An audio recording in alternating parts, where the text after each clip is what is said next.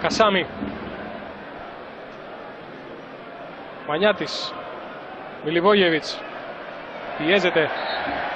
Με κάθε ευκαιρία ο Ατζαγκούν πρεσάρει ασπιχτικά. Προσπαθεί να κερδίσει μπάλα ψηλά. Τώρα έχει ανέβει ο Τριανταφυλόπουλος να μαρκάρει το Μαζοακού και έχει μείνει ο Ζέκα με τον Αφελάη. Άλλαξαν λίγο οι ρόλοι. Αφελάη στο έδαφος, ανάμεσα σε δύο του Παναθηναϊκού τώρα το φάουλ.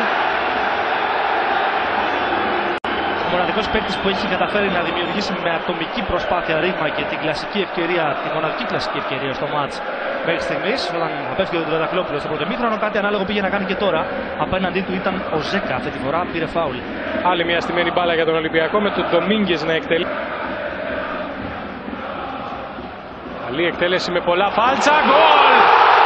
Θα το πετύχει ο Αυλονίτης.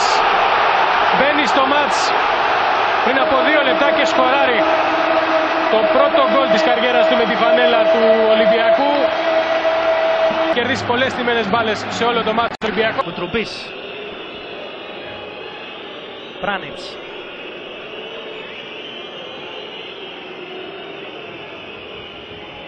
Το γέμισμα εκεί που πέρασε ο Πέτριτς, ο Ατζαγκούν. Έχει σταματήσει το παιχνίδι ο Καλογερόπουλος Νομίζω για κοντρόλ με το χέρι. για χέρι Νομίζω. έχω την αίσθηση, ναι, αυτό του δείχνει.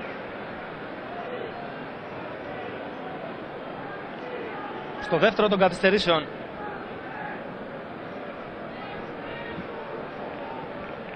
Ξανά είναι η προηγούμενη φάση.